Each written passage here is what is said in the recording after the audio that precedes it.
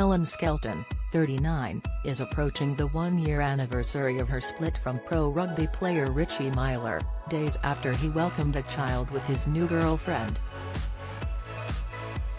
However, the Countryfile star insists she has no time to get stressed and that her breakup is typical of what many people have to endure. My life's no different to millions of other people's lives, she shrugged to Grazia magazine.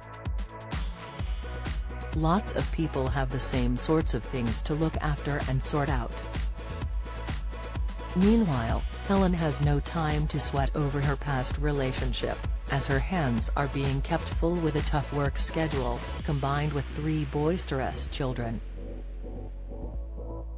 I think life is fun, and short, and wonderful, and you just take each chapter as they come along. There's no point overthinking stuff, you just get on with it, she explained.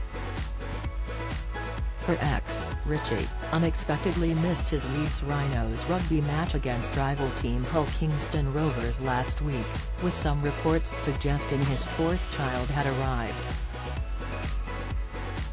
The news was then confirmed by his team coach Rohan Smith, who stated, Richie has spent a bunch of time in the hospital with the birth of his new little baby, so we've given him a little time off to settle in at home.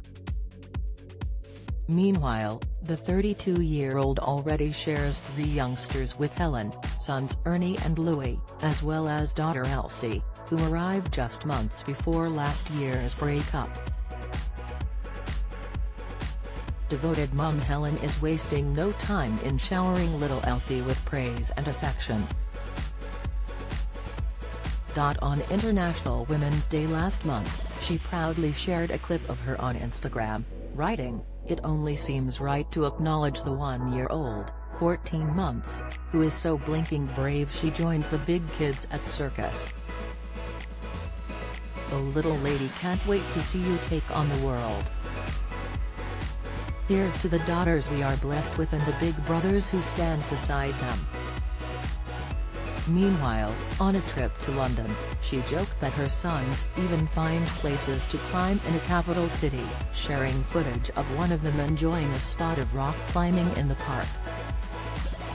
Only last week, Helen courageously presented coverage of her husband's team playing in Leeds for Channel 4.